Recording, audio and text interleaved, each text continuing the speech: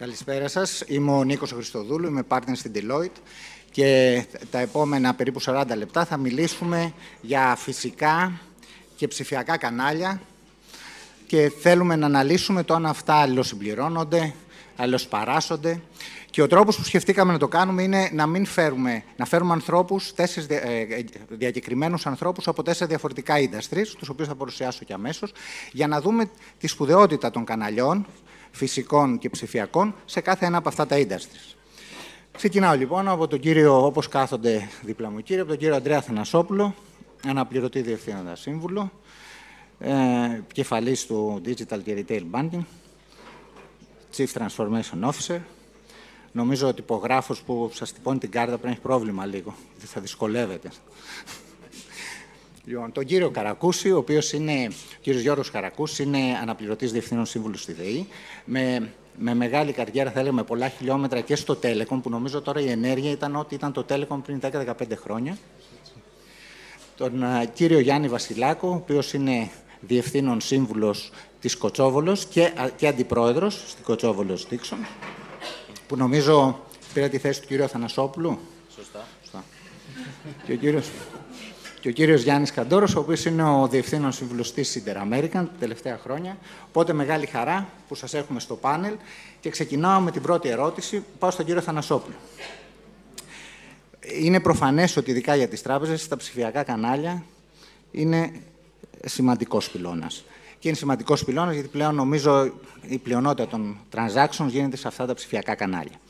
Από την άλλη μεριά τίθεται θέμα κατά πόσον αυτά τα ψηφιακά κανάλια μπορούν να ενισχύσουν την κερδοφορία της τράπεζας, γιατί το transaction στην ουσία είναι κόστος, αλλά δεν είναι τόσο, θα έλεγα, revenue, σε συνδυασμό με το ότι κρατάτε μεγάλο δίκτυο ε, καταστημάτων.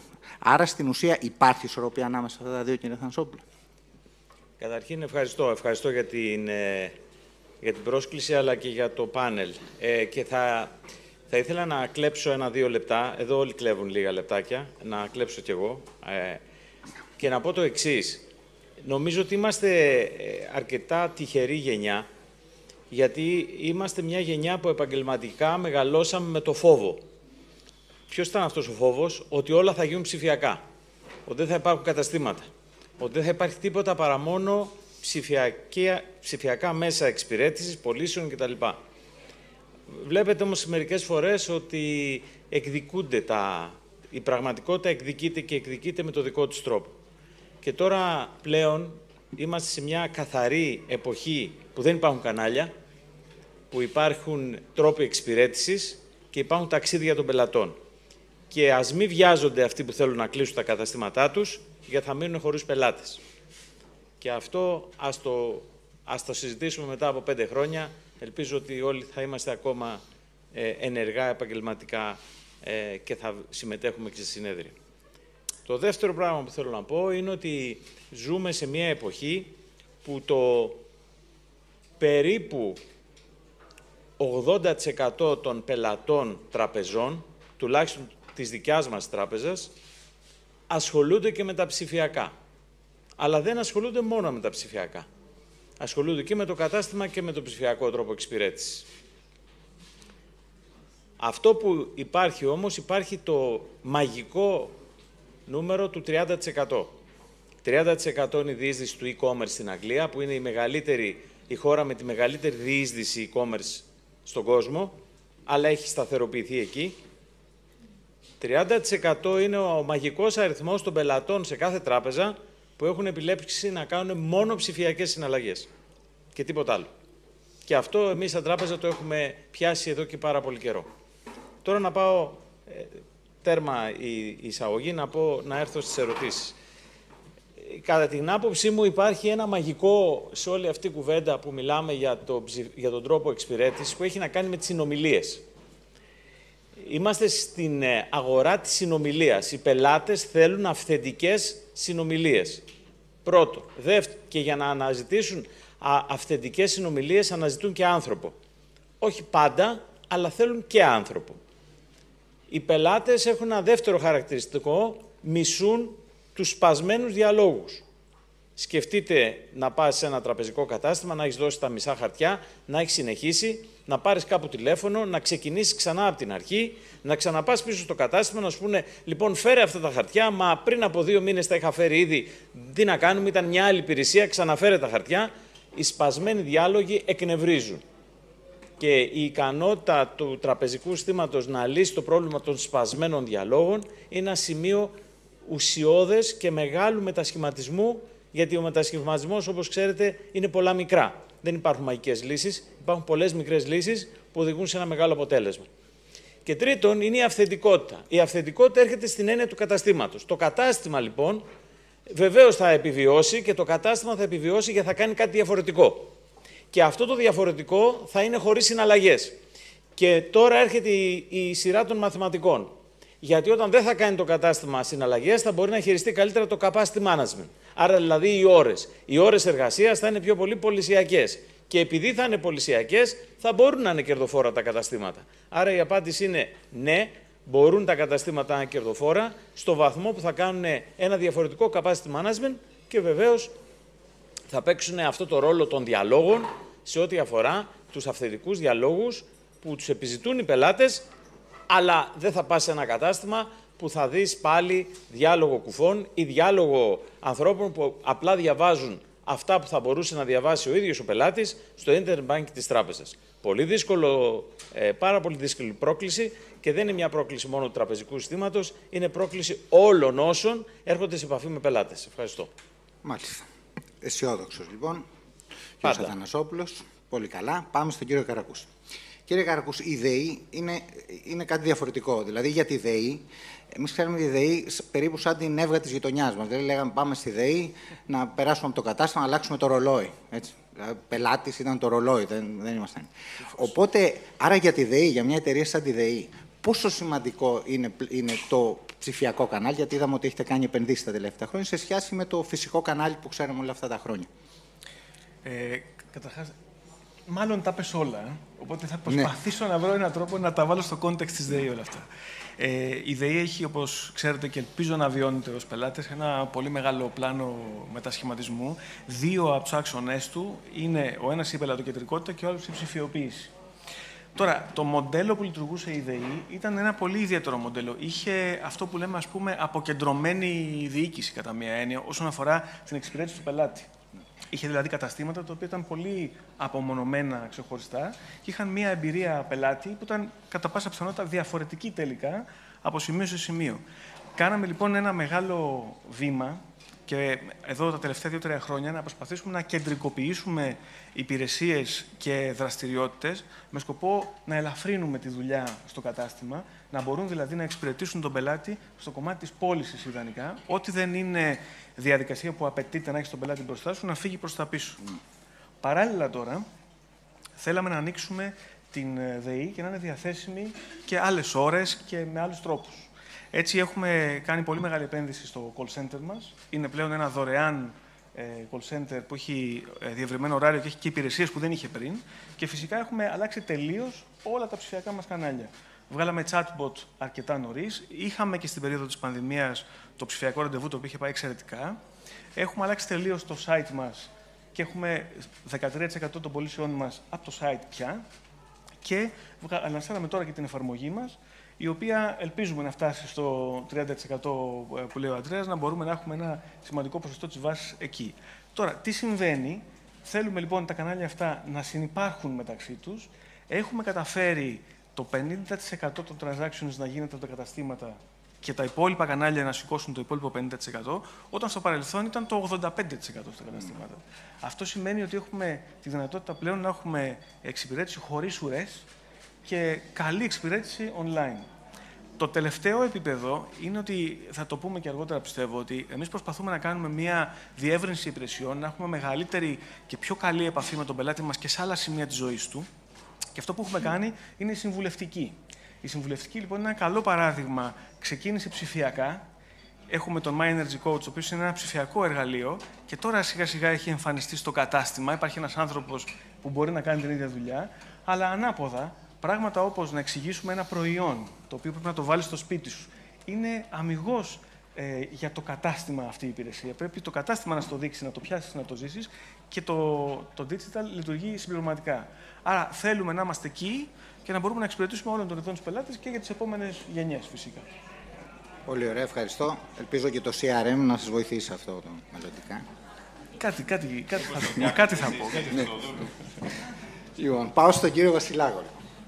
Λοιπόν, κύριε Βασιλάκο, εσείς έχετε μια διαφορετική οπτική. Δηλαδή, ε, εσείς είστε σε ένα industry το οποίο δέχτηκε πολύ γρήγορα μεγάλη επίθεση από διάφορα e-commerce sites ε, και θα έλεγα ε, αυτό πιθανά να ήταν ένας λόγος και αυτό θέλω να σας ρωτήσω αν τελικά η επιλογή Κοτσόβολος Δίξον να βγει στα ψηφιακά κανάλια ήταν επιλογή ή ανάγκη ε, εν ώψη του ανταγωνισμού ο οποίος υπήρχε και κατά πόσον αν, επειδή έχετε ειδικά εσείς και φυσικό και ψηφιακό κανάλι, διαφοροποιείτε την τιμολογιακή σας πολιτική και τις λύσεις σας ανάλογα με το κανάλι που επιλέγει ο πελάτης;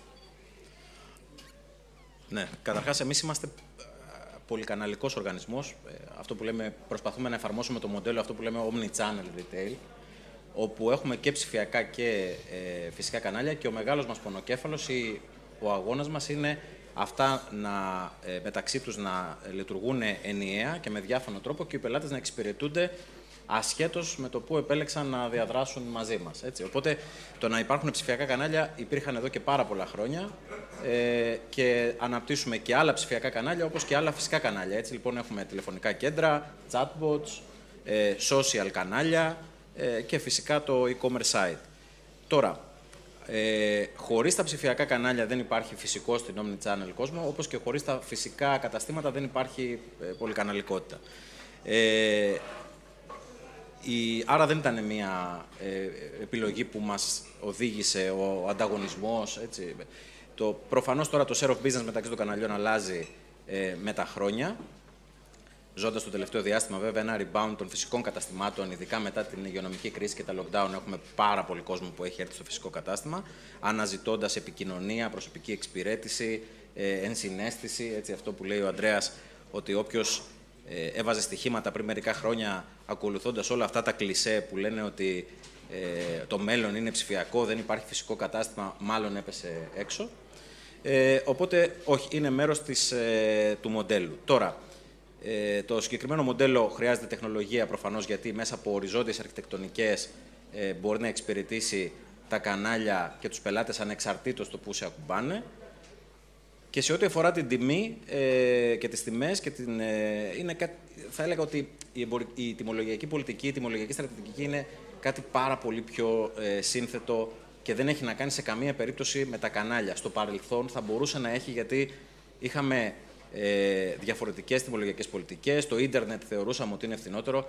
Όχι, δεν έχει να κάνει πλέον με αυτό σε κανένα σύγχρονο και στο παγκόσμιο omnichannel retail. Έχει να κάνει με τον πελάτη, έχει να κάνει με τον τοπικό ανταγωνισμό, ε, κυρίως, έτσι, και έχει να κάνει και με εμπορικές πολιτικές που μπορεί να έχεις κάθε φορά σε διαφορετικό σημείο.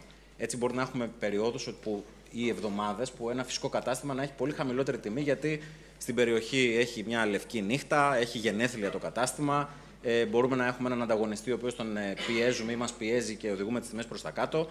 Έχει να κάνει λοιπόν με τέτοιες λογικές. Είναι πάρα πολύ σύνθετο και εκεί έχει πολλή τεχνολογία.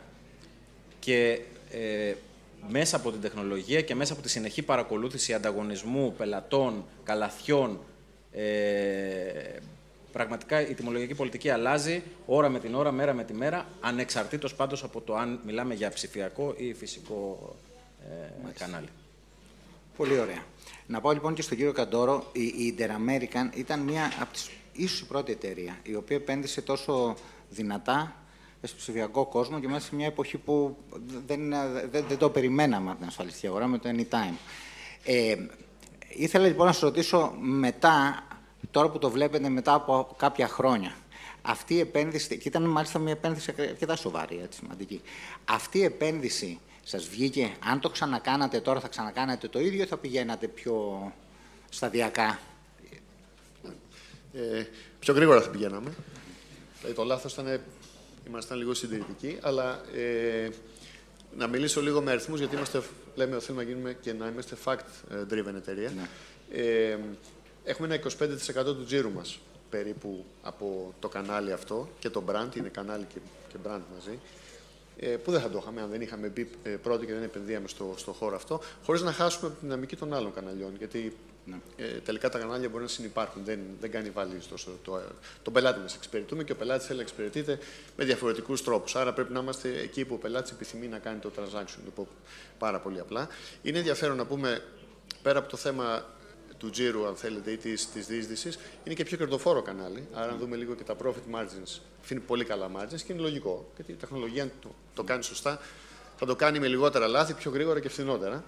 Ε, και ένα σημαντικό πράγμα που δεν φαίνεται τόσο, βοήθησε να αλλάξει πολύ η κουλτούρα της εταιρείας. Αυτό για μένα είναι τρομερά σημαντικό. Ε, αυτή τη στιγμή, δηλαδή, πάρα πολλά πράγματα στην Ταραμέτρα λειτουργούν, να το πω έτσι πολύ απλά, με, με λογικές anytime. Άρα, ε, βοήθησε την εταιρεία να γίνει μια εταιρεία ψηφιακή. Ε, Εμείς έχουμε εδώ το, το, το, ψηφιακό κόσμο με τις με τις απευθείας πωλήσεις, γιατί ο ψηφιακός κόσμος βοηθάει, όπως είπαν όλοι οι συνάδελφοι, προφανώς να γίνει καλύτερη και δουλειά μέσα από τα φυσικά δίκτυα. Ε, αυτό που βλέπουμε είναι ότι πάμε σε ένα ευρυδικό μοντέλο. Δηλαδή, εμείς έχουμε χίλιους ασφαλιστές που δουλεύουν αποκλειστικά για εμά περίπου. Με άλλο τρόπο δουλεύουν σήμερα, με άλλο τρόπο δουλεύανε πριν από μερικά χρόνια και σε ένα μεγάλο βαθμό ε, αυτό έχει να κάνει με τις επενδύσει στην τεχνολογία που βοηθάει τον άνθρωπο να αφουγκράζεται και να καταλαβαίνει καλύτερα το τι θέλει ο πελάτης. Εγώ βλέπω ότι σε μερικά χρόνια μέσα από συστήματα να, τώρα, να πω και κάτι που είναι έτσι και επίκαιρο τεχνητής νοημοσύνης, θα βοηθάμε και τους συνεργάτες μας να, να προτείνουν και να εξυπηρετήσουν τους πελάτες με τρόπους που ήδη πιθανώς να μην έχουν αντιληφθεί. Μάλιστα. Πολύ ωραία. Ε, πάω σε μια δεύτερη ερώτηση. Θα είναι μάλλον γρήγορη, γιατί ήδη κάποια κομμάτια της έχετε, τα έχετε απαντήσει ήδη στην πρώτη, για να έχουμε την δυνατότητα να κάνουμε και μια γρήγορη τρίτη που με ενδιαφέρει πάρα πολύ. Ε, στη δεύτερη ερώτηση που για να, μην, για να μπορέσει να πει κάτι ο κύριος Καρακού, θα ξεκινήσω από τον κύριο Καρακού, για να μην το πει όλα ο κύριος Αθανασόπουλος. Λοιπόν, η ερώτηση είναι, τα κανάλια λειτουργούν συμπληρωματικά ή πολλές φορές λειτουργούν και ανταγωνιστικά; Και αυτό μπορεί να μην είναι τόσο θα έλεγα, εμφανές έτσι, σε κάποιους χώρους. Σε κάποιους άλλους όμως χώρους, π.χ. στην ασφαλιστική αγορά που έχουμε ένα πολύ δυνατό δίκτυο ασφαλιστών κτλ. μπορεί να είναι πολύ πιο, ε, το θέμα πολύ πιο έντονο. Οπότε θα ήθελα λοιπόν να δω ακριβώς πώς είναι η συνεργασία αυτών των καναλιών, αν είναι τελικά ανταγωνιστές ή αν είναι φίλοι τα κανάλια αυτά και αν τελικά διασφαλίζουν μια σύμλεση εξυπηρέτηση του πελάτη που αυτό νομίζω είναι το ζητούμενο όπως είπαμε και στην αρχή. Κοίταξε, είναι ξεκάθαρο για μας ότι είναι συνεργατικά τα κανάλια, δεν το συζητούμε. Ε, ο, αυτό που προσπαθούμε να κάνουμε με το CRM, όπως πολύ σωστά είπε, που η εταιρεία μας δεν είχε CRM και τώρα κάνουμε μια τεράστια επένδυση σε χρόνο ε, και σε κόπο και για να μπορέσουμε να φτιάξουμε μια εμπειρία πελάτη που είναι ίδια, ναι. ανεξάρτητα από, που, από ποιο κανάλι έρθει, αλλά και όχι μόνο αυτό, η εμπειρία πελάτη να είναι ίδια είτε ξεκινήσει από ένα κανάλι και τελειώσει στο ίδιο, είτε περάσει από άλλα. Παράδειγμα, όταν έχεις ένα ψηφιακό κανάλι που σου περιγράφει ένα προϊόν, αλλά χρειάζεται να πάρεις μια πληροφορία παραπάνω, να πας στο κατάστημα, να, να σου το εξηγήσει και η πώληση μπορεί να, μπορεί να γίνει εκεί, μπορεί να γυρίσεις πίσω στο online να το κάνεις, δεν έχει σημασία. Σημασία έχει να μπορείς ανα πάσα στιγμή εμείς ως προμηθευτής να ξέρουμε τις ανάγκες του πελάτη μας και να ξέρουμε να πιάσουμε αυτά τα σπασμένα, τα σπασμένα journeys που έλεγε νωρίτερα ο Αντρέας. Το χειρότερο πράγμα είναι να πας σε ένα κατάστημα και να πεις: Έχω ένα αίτημα στο call center και να σου πει: Λυπάμαι, δεν ξέρω. Επομένως, σίγουρα είναι συνεργατικά. Η δουλειά που γίνεται σε εμάς είναι να μπορέσουμε να έχουμε μια ίδια εμπειρία omnichannel, όπως είπες νωρίτερα, ε, σε όλα μας τα κανάλια και γι' αυτό κιόλας θα δείτε ότι το καινούριο μας μοντέλο καταστημάτων που πέρασε την πιλωτική του περίοδο και τώρα θα πάει σε όλη την Ελλάδα έχει στοιχεία μέσα του και ψηφιακά. Δηλαδή μπορείς να εξυπηρετηθείς ψηφιακά μόνος να κάνεις, να κάνεις τελείως digital τα transactions χωρίς να απασχολήσεις έναν agent, αλλά ταυτόχρονα έχεις και τη δυνατότητα και να πληρώσεις, αλλά σιγά σιγά όλες αυτές οι υπηρεσίες που βγαίνουν τώρα από εμάς, που είναι τα φωτοβολταϊκά στις στέγες, ναι. οι αντλίες θερμότητες που είναι πιο βαριές δουλειές και χρειάζεται πιο πολύ σκόπος, Πώς το έχουμε σκεφτεί, θα το δεις online, θα πάρεις μια ιδέα, θα κάνεις το online εργαλείο να πάρεις μια πρώτη εικόνα, αλλά θα πας σε ένα κατάστημα για να ολοκληρώσεις τον deal. Και χρειάζεται τεχνολογία. Χωρίς τεχνολογία και χωρίς το CRM που λείπει ναι. από εμάς, ε, δεν θα μπορέσουμε να το υλοποιήσουμε αυτό. Ελπίζω σύντομα θα έχουμε αυτή τη δυνατότητα. Το ελπίζουμε και όλοι το ελπίζουμε. Κύριε Βασιλάκο.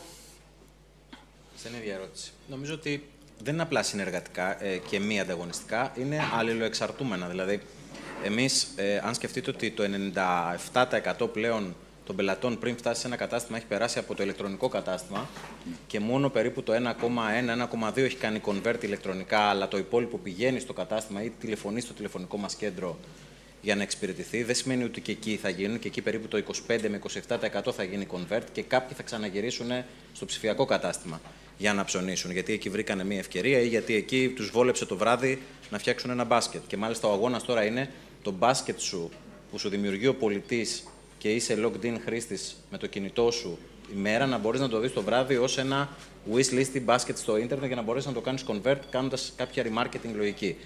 Επίσης, να πω ότι είναι αλληλεξαρτούμενα γιατί σε κάποιες περιπτώσεις τα ψηφιακά κανάλια μπορεί να, είναι forward, να, να εξυπηρετούν forward ταξίδια, δηλαδή πωλήσεις, ενημέρωση. Έτσι. Σε κάποια πρέπει να καλύψουν επιστροφικά ταξίδια, παράπονα, ε, αιτήσεις για ανακυκλώσεις, αιτήσεις για service. Άρα, στη δική μας περίπτωση τουλάχιστον, ε, όχι απλά δεν είναι ε, μη ανταγωνιστικά και είναι συμπληρωματικά, είναι αλληλοεξαρτούμενα. Δεν μπορούμε να φανταστούμε πώς θα λειτουργήσει πλέον ένας καταναλωτής αν δεν είχες όλα αυτά τα κανάλια, το καθένα κάθε φορά να αναλαμβάνει ένα ρόλο με βάση το που ο πελάτης το συναντά. Έτσι. Είναι ξεκάθαρο.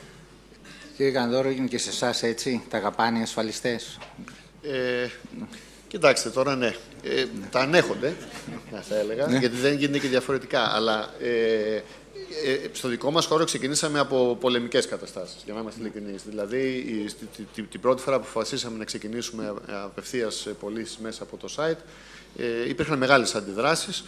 Ε, σιγά σιγά όμως σήμερα, να σας φέρω ένα, ένα στατιστικό πολύ ενδιαφέρον. Στο δικό μας δίκτυο που δουλεύει αποκλειστικά για την Interamerican, στα απλά προϊόντα που έχουν ασφάλιση αυτοκινήτου, το 80% των πωλήσεων γίνεται μέσα από σύσταση στην πλατφόρμα της Anytime. Δηλαδή, ο ασφαλιστής τι λέει, του λέει ο πελάτη θέλω ασφάλεια αυτοκίνητου, λέει κοίταξε να δεις, πήγαινε στην Anytime.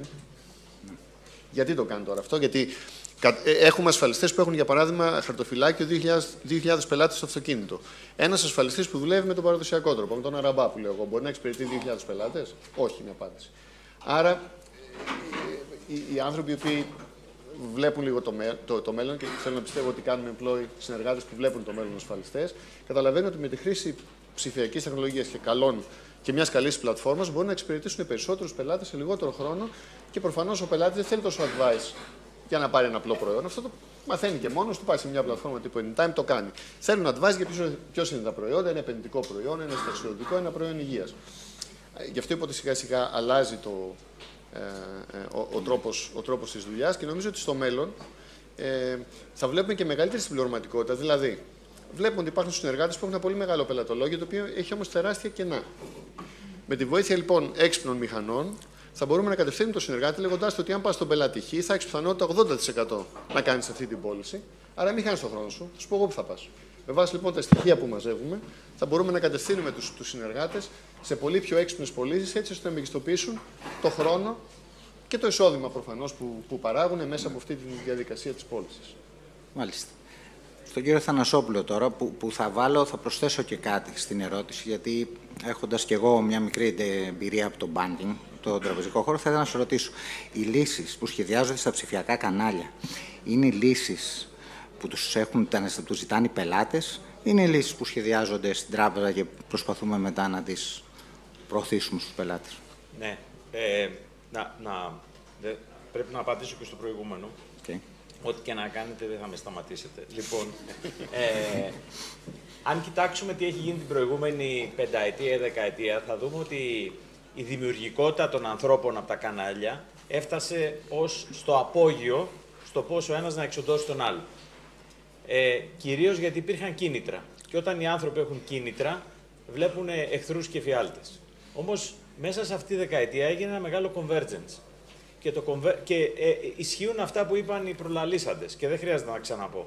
Όμως, τι συνέβη και οδηγηθήκαμε εκεί; Ήταν η, η πραγματικότητα. Και η πραγματικότητα είχε δύο διαστάσεις, κατά τη γνώμη μου. Η μία ήταν οι πελάτες, οι οποίοι άρχισαν να εξοργίζονται όταν βλέπαν να γίνονται παράξενα πράγματα μεταξύ των καναλιών και να μαλλιοτραβιώνται ποιος θα πάρει τον πελάτη, να τους ακυρώνουν τις αιτήσεις, να τους λένε δεν δεν στα είπε καλά το μηχάνημα, εγώ θα στα πω καλύτερα. Ό,τι μπορεί να φανταστείτε, ε, δημιουργικός σκεφτόταν ο άνθρωπος. Και οι πελάτες δεν είναι χαζοί, οι πελάτες άρχισαν να αντιδρούν. Και ένα δεύτερο πράγμα που συνέβη είναι τα ίδια τα κανάλια και οι, οι σχεδιαστές των καναλιών διεπίστωσαν δύο πράγματα.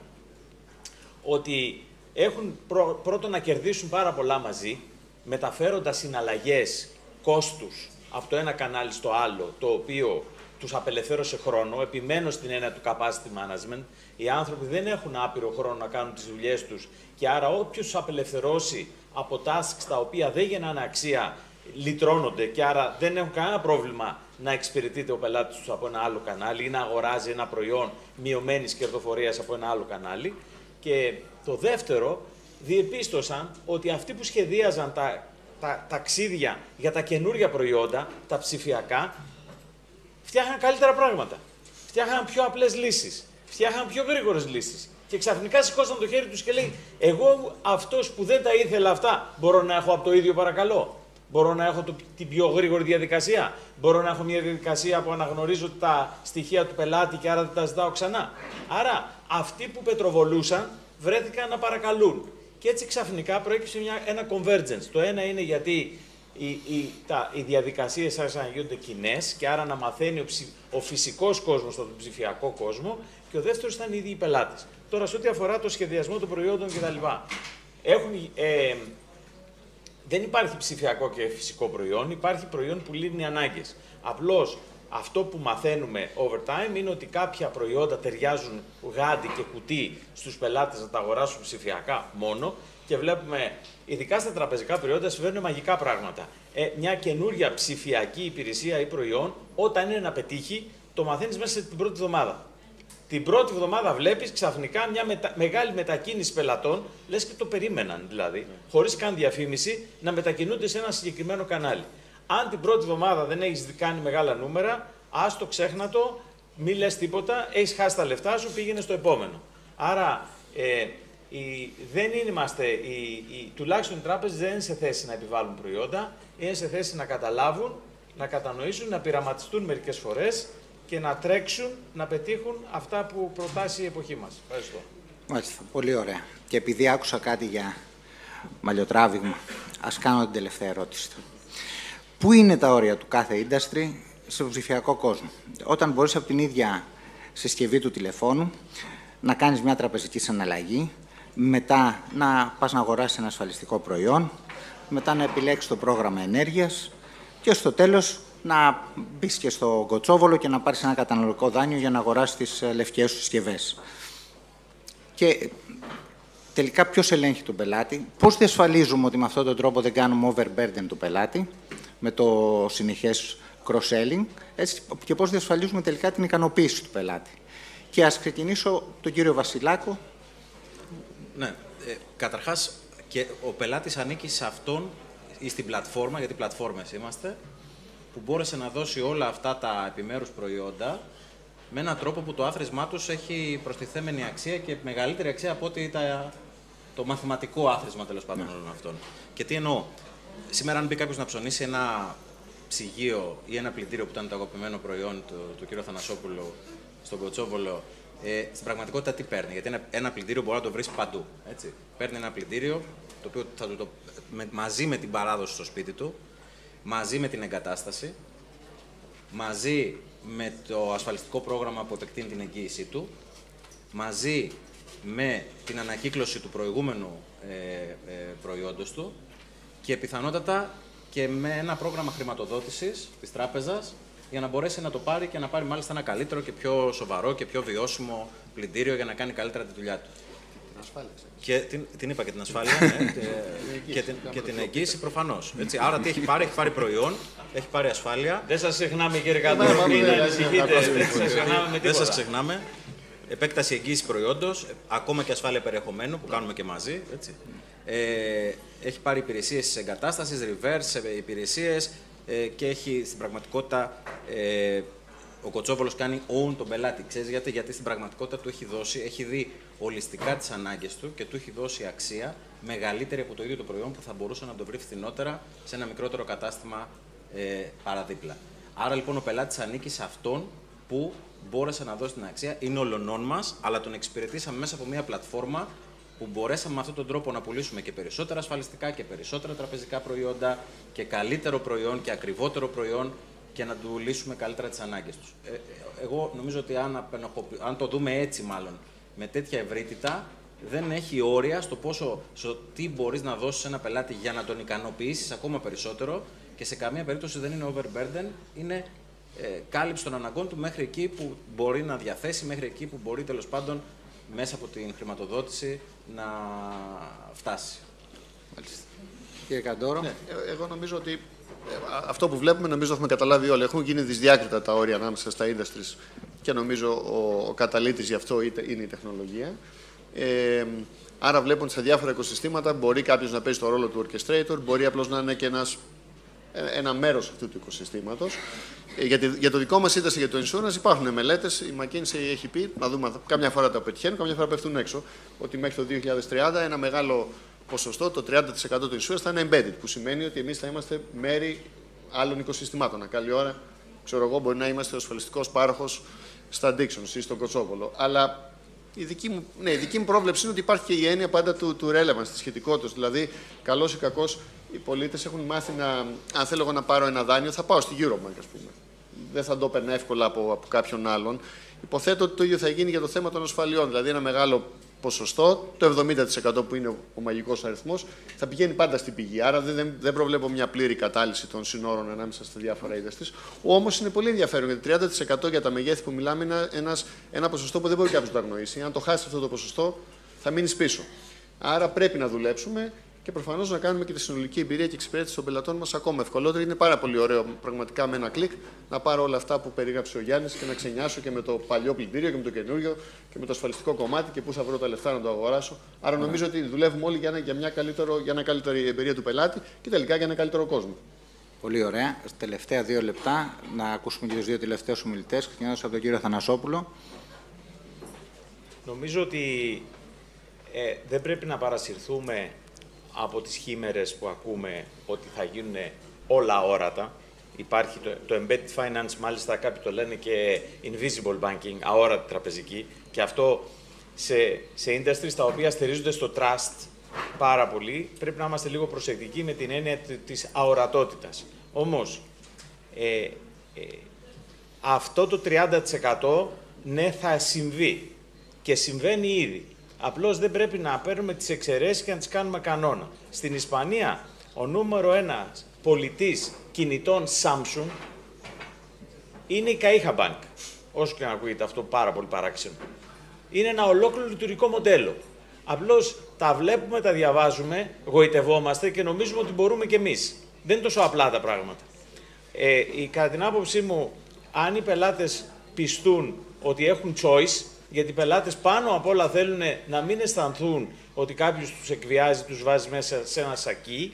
Άρα οι πελάτες θέλουν επιλογή, θέλουν εμπιστοσύνη και θέλουν να ξενιάζουν. Αυτά μεταξύ τους μερικές φορές είναι ανταγωνιστικά. Όποιος φτιάξει καλά την ισορροπία μεταξύ εμπιστοσύνης, επιλογής και ξενιάγασματος, τότε θα μπορεί να, να ανήκει στην οικογένεια του 30%. Αλλά πάντα θα υπάρχει μια οικογένεια του 70% που θα είναι μόνο online. Γιατί θα υπάρχουν άνθρωποι που θέλουν να μιλήσουν σε μια τράπεζα για το δάνειό τους ή σε μια ασφαλιστική για την ασφαλειά τους. Αυτοί θα υπάρχουν, αλλά το άλλο το κομμάτι όσο μεγαλώνει και αποδεικνύει την αξία του, προφανώς θα αναπτύσσεται. Υπάρχουν πολλά dynamics εκεί μεταξύ αυτών των ε, ε ε, αυτή τη συνύπαρξη. Είναι μια πολύ ενδιαφέρουσα συνύπαρξη. Θα δούμε περισσότερα στο μέλλον. Αλλά να ξέρετε, πριν δούμε πολλές επιτυχίες, θα δούμε πολύ περισσότερες αποτυχίες. Και απλώς θα πρέπει να είμαστε όλοι προετοιμασμένοι να πειραματιστούμε. Ευχαριστώ. Και κύριε Καρακούς, τελευταίες κουβέντες δικές σας; Πολύ συνοπτικά. Εγώ νομίζω ακούσαμε το θέμα της αξίας που παίζει πολύ μεγάλο ρόλο και της ευκολίας που λες και, και το κομμάτι της μάρκας που, που ακούστηκε. Δηλαδή, δεν είναι εύκολο να πάρεις κάτι άλλο από μια άλλη μάρκα αν δεν το καταλαβαίνεις. Η μάρκα προσφέρει κάτι. Ναι. Αλλά εγώ νομίζω ότι εκεί που θα παιχτεί το παιχνίδι είναι η εμπειρία πελάτη. Δηλαδή, μπορείς να τελικά να θες να αγοράσεις ένα πακέτο ενέργειας από την εφαρμογή κάποιου. Αν δεν πάει καλά το journey, υπάρχει πολύ σοβαρή πιθανότητα να το πάρεις από κάποιον που πουλάει κάτι άλλο και παρεπιπτόντως πουλάει ενέργεια. Άρα, αν το κάνεις καλά το κομμάτι της εμπειρίας και είναι απλό εύκολο και αν η μάρκα σου έχει νόημα να το πουλάει αυτό το επιπλέον προϊόν, τότε υπάρχει πολύ σοβαρή πιθανότητα να, να το πετύχεις αυτό. Άρα ο ανταγωνισμός είναι καλός τελικά, διότι μόνο και μόνο η λογική ότι υπάρχει αυτή η δυνατότητα κάνει όλους εμάς που πουλάμε μία υπηρεσία να γινόμαστε καλύτεροι. Αυτό, αυτό θέλει ο κόσμος. Μάλιστα.